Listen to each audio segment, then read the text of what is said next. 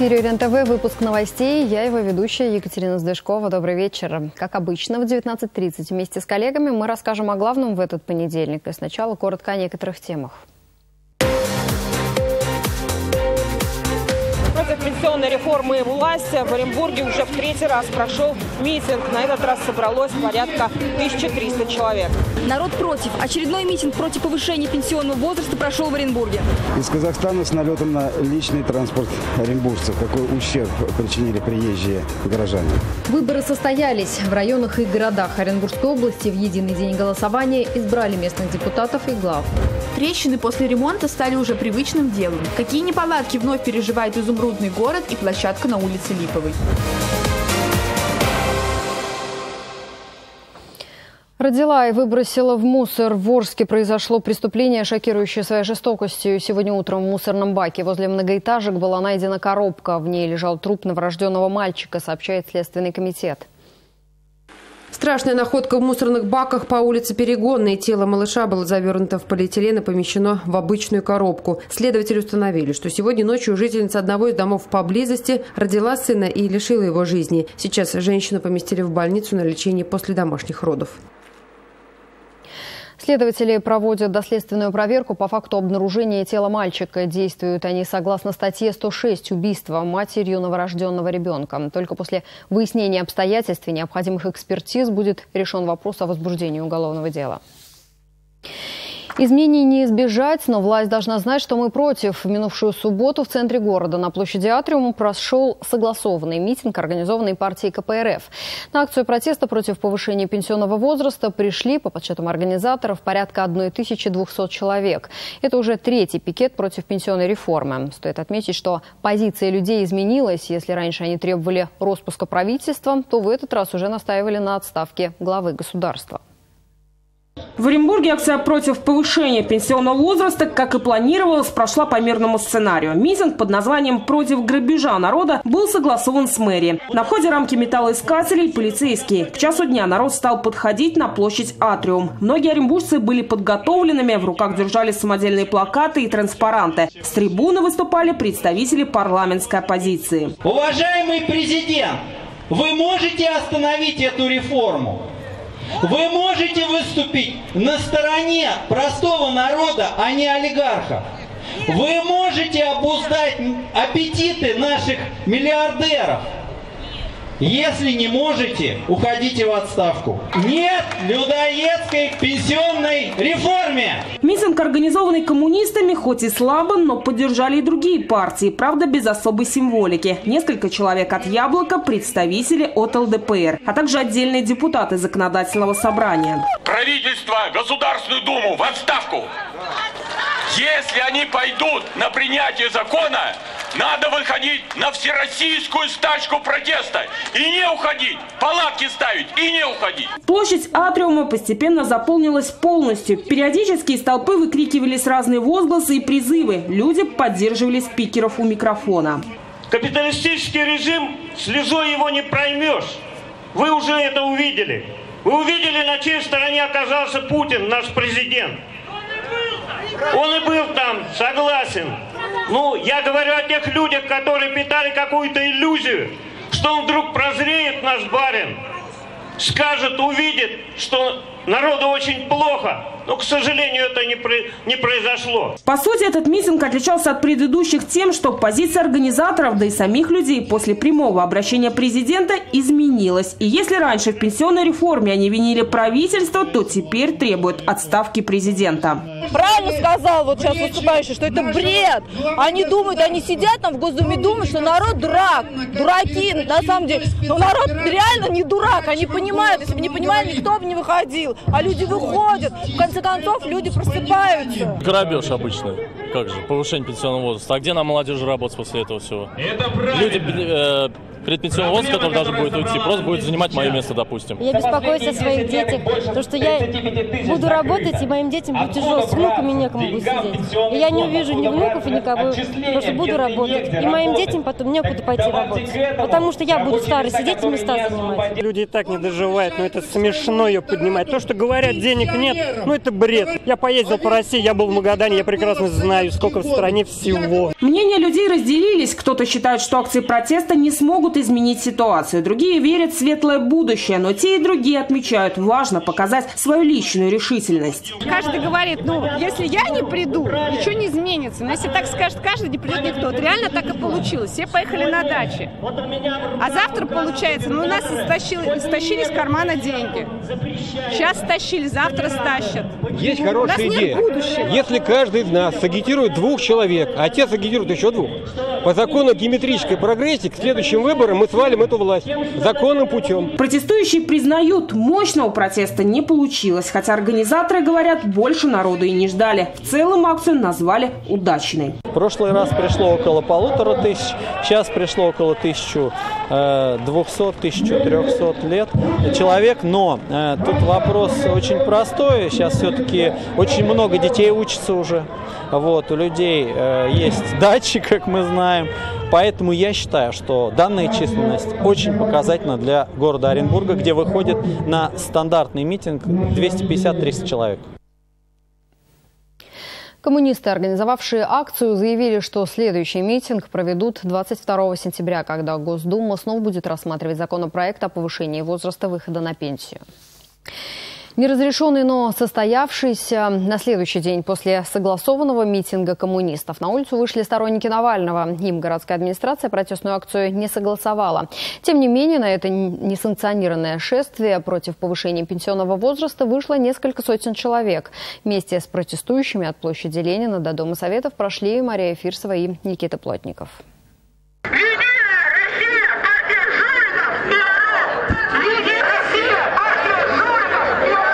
В руках тех, кто пришел на митинг, фотографии оренбургских чиновников и депутатов от «Единой России», которые поддержали пенсионную реформу, плакаты с призывами о смене власти. Людей не испугал и не остановил тот факт, что митинг несанкционированный. Свое «нет» пенсионной реформе вышли сказать и уже ставшие пенсионерами, и совсем молодые люди. Жить до того тяжело, что уже пугаться уже бессмысленно. Дальше будем только бедность нас ждет. Что пугаться-то? Мне 43 года. Я боюсь, что до пенсии я не доживу. При наших зарплатах э, это просто невозможно. Я против пенсионной реформы. Не хочу, чтобы увеличивали возраст. Хочу, чтобы создавали рабочие места для молодежи.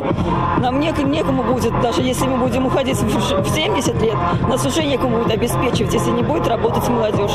За державу обидно. Что с нами творят выше власть? Во время шествия от сквера имени Ленина и до площади Атриум люди скандировали довольно провокационные слоганы, но полиция вела себя сдержанно и не вмешивалась в происходящее. Если в других городах прошла волна задержаний, то в Оренбурге единственное, что сделали полицейские, это предупредили, что на площади Атриум проходит праздник и митинг может помешать. Больше за все 50 минут шествия никаких действий со стороны полиции не было. В шествии приняли участие порядка 200 человек, что, по мнению организаторов, уже повод считать митинг взрослым. Завершилось шествие возле Дома Советов, где организатор Наталья Трубачева поблагодарила всех, кто пришел, и предупредила людей, чтобы они обращались за помощью, если к ним после участия в несанкционированной акции возникнут вопросы со стороны правоохранительных органов. Митингующие дошли до Атриума, и несмотря на то, что собираться там теперь запрещено, Юрий Берг 4 сентября своим распоряжением исключил эту площадь из перечня разрешенных для несанкционированных митингов и пикетов. Теперь в Оренбурге осталось только два места для проведения несогласованных с мэрией и областным правительством мероприятий до 100 человек. И если митинги в Оренбурге прошли относительно спокойно, то в других городах все закончилось ударами дубинками, скручиванием и заталкиванием в автозаки. И самое главное, среди задержанных были дети. В Санкт-Петербурге полицейский задержал мальчика, на вид которому около 10 лет. В Екатеринбурге собравшихся митингующих ОМОН взял в кольцо. В Твери бойцы задержали мужчину, при этом совершенно не обращая внимания, что его маленький ребенок остался один. Вот кадры митингов, которые прошли 9 сентября в российских городах.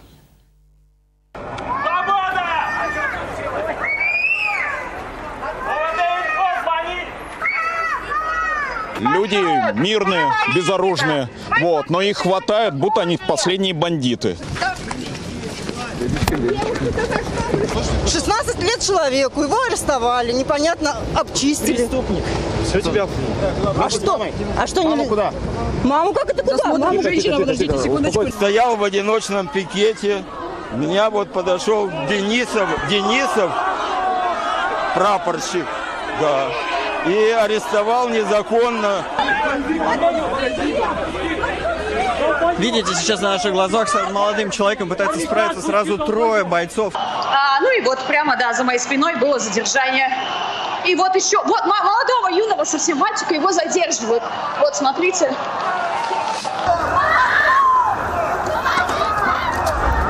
Это женщина!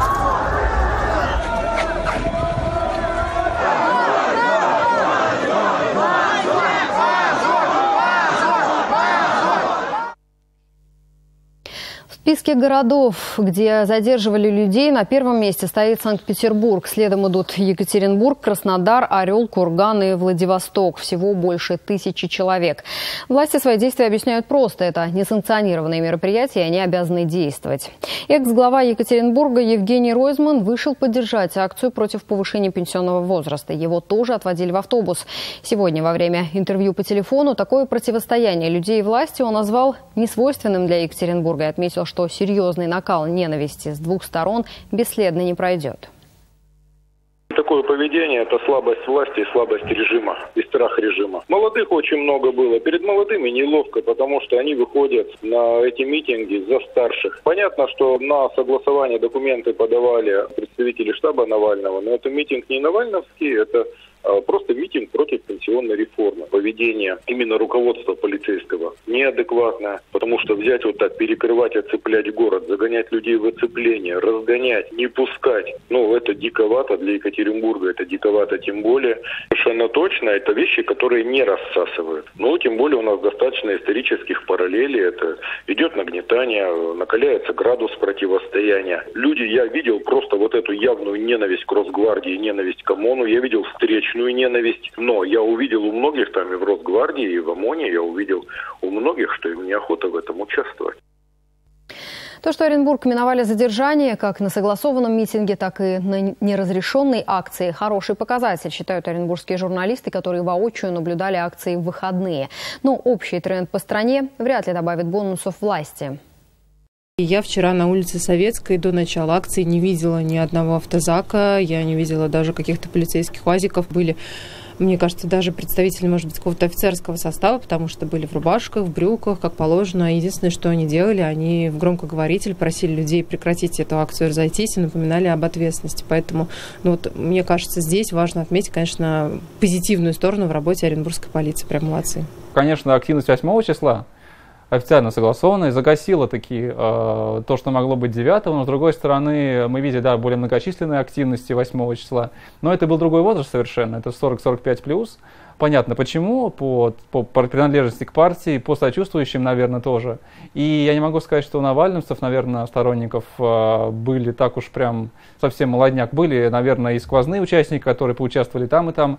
Но действительно есть ощущение, что как-то и пореакционнее даже в чем-то прошло 8 число, при том, что это там коммунисты, либерал-демократы проводили. Вроде как от молодежи ждешь каких-то подвохов. Посыл, который отличает вот эти жесткие задержания от задержаний э, на прошлых акциях, э, в том, что э, люди, которые выходят на пенсию в 45, они фактически боролись с теми, кто не хочет выходить на пенсию в 65. Протест э, немножко за другую категорию прав. И то, что полицейские, которые имеют преимущество в возрасте выхода на пенсию, вот так себя вели с молодыми молодыми людьми, с пожилыми людьми, которые боролись за свое право сохранить нынешний возраст выхода на пенсию, а, я думаю, что это, конечно, негативно сказывается на доверии людей, на отношении людей к полиции в целом. Это еще не все. Впереди много интересных новостей. А пока небольшая рекламная пауза. Будьте с нами.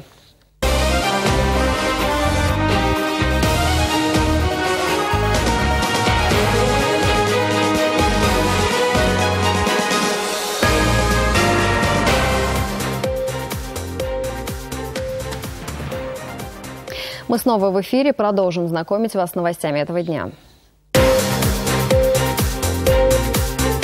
Из Казахстана с налетом на личный транспорт оренбуржцев. Какой ущерб причинили приезжие горожане? Выборы состоялись. В районах и городах Оренбургской области в единый день голосования избрали местных депутатов и глав. Трещины после ремонта стали уже привычным делом. Какие неполадки вновь переживает изумрудный город и площадка на улице Липовой? Какие темы сегодня беспокоят оренбуржцев, а также информация о находках, как всегда, все подробности в рубрике «Дежурный корреспондент». Снова не вздохнуть. Оренбуржцы опять жалуются на сильный запах сероводорода. За последние сутки в муниципальную приемную поступило порядка 15 обращений от жителей промышленного и центрального районов. Звонки были также от оренбуржцев из степного поселка и в предыдущие дни. Как нам сказали в экологической лаборатории Оренбургской области, превышения ПДК были зафиксированы в ночь субботы на воскресенье. Все цифры передали в Министерство природных ресурсов области. Однако специалисты ведомства, куда мы направили официальный запрос, в течение дня так и не назвали, во сколько раз была превышена предельно допустимая концентрация сероводорода в воздухе. Из неофициальных источников известно лишь, что за последние дни высокое содержание сероводорода было зафиксировано в районе завода РТИ. Напомним, проблема с выбросами сероводорода в Оренбурге остро встала стало в августе. Превышение ПДК достигали 25 раз. Тогда выяснилось, что их источник – очистные сооружения Оренбург-водоканала. Правительство региона поручило предприятию устранить нарушения. Сегодня в Оренбург-водоканале нас заверили, что к нынешним выбросам не имеют отношения. Добавим, расследование уголовного дела, которое было возбуждено по факту загрязнения атмосферного воздуха в августе, продолжается. Назначены экспертизы, сообщили в региональном УМВД. Ответы на запрос о превышении ПДК от Министерства природных ресурсов, а также от Росприроднадзора мы ждем в ближайшее время. Почти два десятка потерпевших получили надежду на возмещение причиненного вреда. Сегодня Центральный районный суд Оренбурга приступил к рассмотрению уголовного дела по обвинению двух приезжих из Казахстана в автокрабежах. С первого заседания суда Александр Криволапов. Припарковался в людном месте на несколько минут, а вернулся. Стекло в машине разбито, денег и документов нет. Такую историю рассказывают 19 потерпевших. Приятели вскрывали приглянувшуюся им машину буквально под носом у полиции. Возле ГАИ пошел узнать, какие документы надо было собирать мне там. Вот, вышел буквально 10-15 минут. Сел в машину, оглянулся, гляжу, что-то светло, потому что у меня сзади стекло тонированное было. Посмотрел, стекло разбито. Ущерб в районе где-то 60 тысяч. Барсетку, была у меня там пенсия, лежала.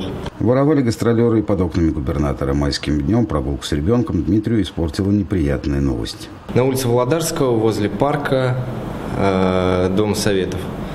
Э, припарковали автомобиль, пошли с ребенком погулять. Через полчаса вернулись, стекло разбито, сумок нет. Ущерб составил порядка 25 тысяч рублей и за разбитое стекло с ремонтом около 10 тысяч рублей.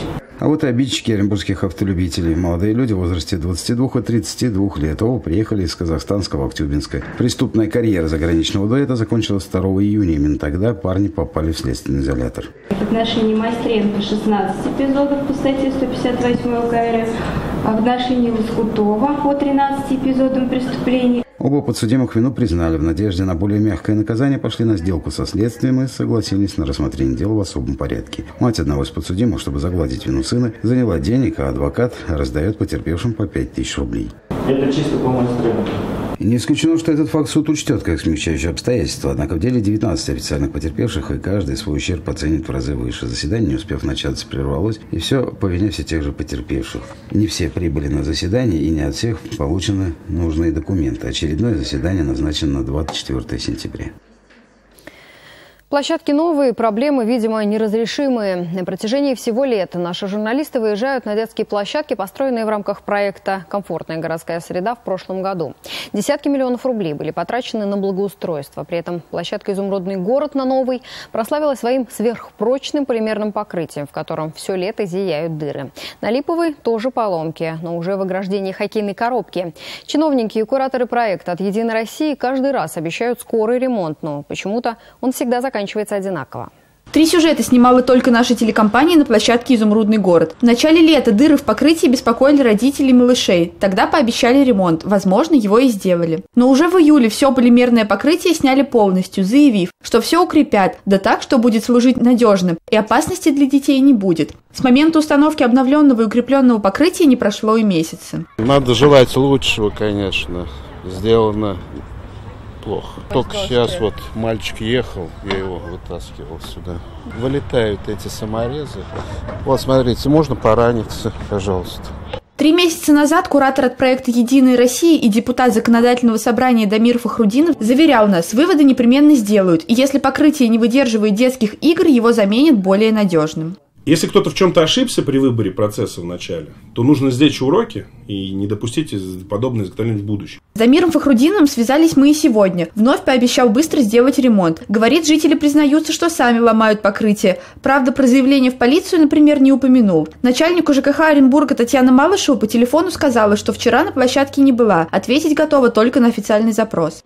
Я, я туда.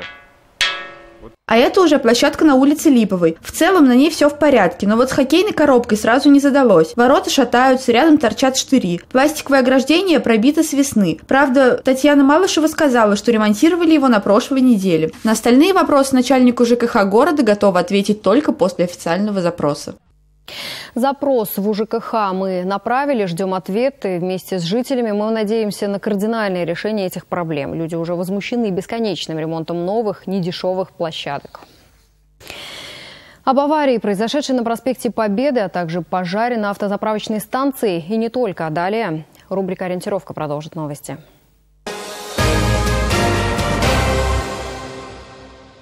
Не пережила последствий пожара. Накануне в селе Алексеевка Ташлинского района горела местная АЗС. Огонь вспыхнул в операторной. 41-летняя за складом нефтебазы получила ожоги 80% поверхности тела. Врачи вели борьбу за ее жизнь, но тщетно. Женщина умерла в больнице. Сон за рулем для 24-летнего водителя Ауди закончился на больничной койке. В утренний час на проспекте Победы у остановки монтажников молодой человек не справился с управлением. Машину на скорости вынесла на противоположную обочину. А остановиться уснувшему шоферу помог фонарный столб. Машина передней своей частью буквально обняла световую опору. Медики больницы имени Пирогова констатировали пострадавшего ушибленные раны головы и внутренних органов. Две тысячи квадратов конопли в Бузулукском районе. Полицейские уничтожили 17 плантаций наркосодержащего растения. В одном случае выяснилось, что дурман-трава была специально посеяна местными жителями. Сотрудниками полиции были задержаны шесть лиц в связи с совершением преступлений, связанных с незаконным оборотом наркотиков растительного происхождения. Возбуждено четыре уголовных дела по статье 228 Уголовного кодекса Российской Федерации «Хранение наркотических средств» и два уголовных дела по статье 228 прим. 1 Уголовного кодекса Российской Федерации «Сбыт наркотических средств». Из веселящей травы дельцы приготовили более 30 граммов марихуаны и гашишного масла. Все это было изъято полицейскими и будет использовано в качестве доказательств по уголовному делу.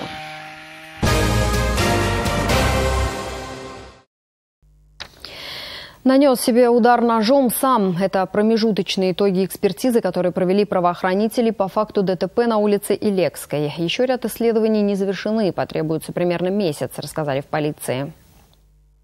Трагедия на улице Элекской произошла 18 августа. Водитель отечественной легковушки сбил 11-летнюю девочку. Подросток в этот момент перекатывала велосипед через дорогу. Рядом с ней шел дедушка. Как рассказывали после аварии очевидцы, удар был очень сильным. Водитель сбил ребенка на перекрестке, остановился через 50 метров. Девочка от полученных травм скончалась. А водителя в восстановившейся машине нашли с ножом в груди. Довольно длительное время не было ясности. Удар ножом в грудь он нанес сам себе после совершенного ДТП или уже ехал с этой травмой. Сегодня правоохранители сообщили, что результаты экспертизы показали, холодное оружие себе в грудь водитель воткнул сам после аварии. Стоит сказать, что территорию возле остановки по улице Илекской местные жители давно называют небезопасной. Отмечали, что сбивали людей несколько раз. До сих пор нет четкого понимания, почему здесь нет пешеходного перехода. До ближайших нужно идти 300 метров в одну сторону и 500 метров в другую. В Управлении по безопасности дорожного движения рассказали, что из ГИБДД к ним еще не поступал документ с признанием этого участка аварийным. Поэтому работ по установке пешеходного перехода администрация не планирует. Выборы состоялись. Накануне по всей России прошел единый день голосования. В Оренбургской области 9 сентября завершилась 51 избирательная кампания в 21 регионе и двух городах. Жители выбрали чуть менее 300 депутатов и одного главу муниципального образования. Эти выборы коснулись лишь 7% населения региона, почитали в облсберкоме. 31% из них пришли в воскресенье на свои участки и проголосовали. Меньше всего активны были жители Новоорского района. Что касается результатов, порядка 80% мест в советах заняли представители «Единой России». Главой Южноуральского сельсовета Оренбургского района стал тоже единорос Владислав Коростелев. КПРФ, ЛДПР и самовыдвиженцы распределили между собой оставшиеся 20% голосов голосов. «Справедливая Россия» участие в этих кампаниях не принимала. Единый день голосования в области прошел в соответствии с действующим законодательством. Выборы в Оренбурге признаны состоявшимися и действительными, отрапортовали в Оренбургской областной избирательной комиссии. Тем временем в четырех регионах России выбрать губернаторов с первой попытки не удалось. Второй тур будет проводиться в Приморском, Хабаровском краях, Владимирской области и Хакасии. Как оценивают некоторые эксперты, эти тихие и неконкурентные выборы оказались проблемными для российских властей. Как пишет BBC, «Единая Россия» теряет большинство в региональных парламентах. Второй тур губернаторских выборов пройдет впервые за много лет и связывают это эксперты с недавним решением о повышении пенсионного возраста. Новости нашего городка. Сайт городской администрации пополнился интересными новостями. Отпраздновав юбилей Оренбурга, руководство города пылко поздравляет коллег из Ульяновска и Астрахани.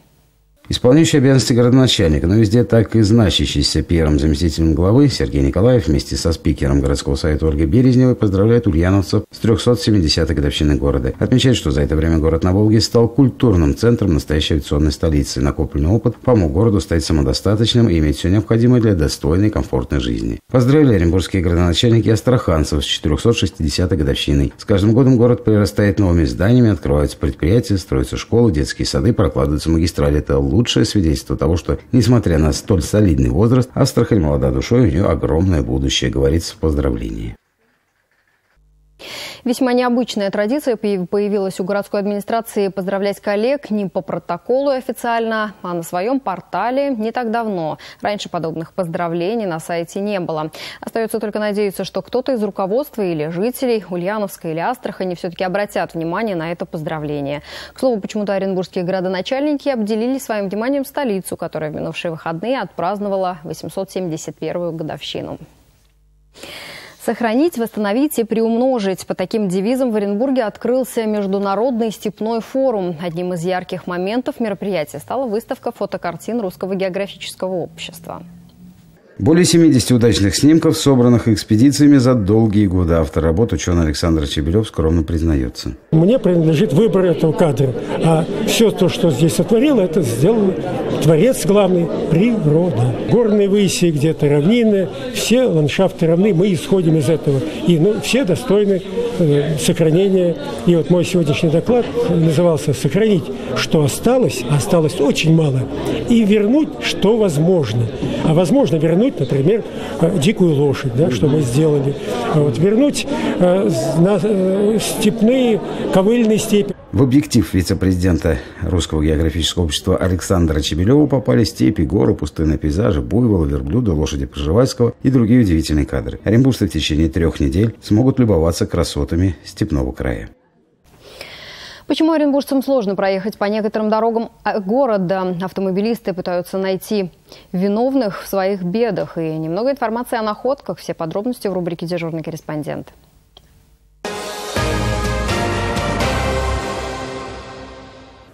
Нужен знак «Стоп». Все это автомобилисты, которые едут утром в час пик по улице Монтажников. Дело все в том, что при повороте на проспект Победы часто затруднено движение. Водители выезжают на середину перекрестка и создают затор.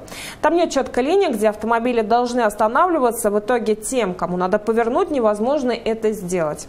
Мы обратились в управление по организации дорожного движения. Начальник Сергей Прошин сказал, что дополнительный знак «Стоп» ставят только в случае, если есть пешеходный переход. А там там его нету. А всем участникам он напомнил, что они обязательно должны останавливаться перед светофором, если уже есть тем более затор. Кстати, за это предусмотрен штраф. Лето прошло, а ямы по-прежнему красуются на дорогах. Водитель Юрий Сергеевич частенько ездит по мосту по улице Юркина. Говорит, что асфальт нуждается в ремонте, покрытие разбито.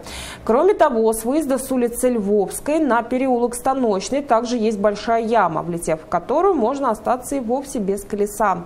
Мы обратились к заместителю начальника управления капитального строительства и дорожного хозяйства. Олег Жирельев сказал, что в этом году работы на данном участке не предусмотрены деньги не заложены в бюджет, автомобилистам придется терпеть. А что касается второго вопроса, то на место выйдут специалисты и по возможности залатают выбоину.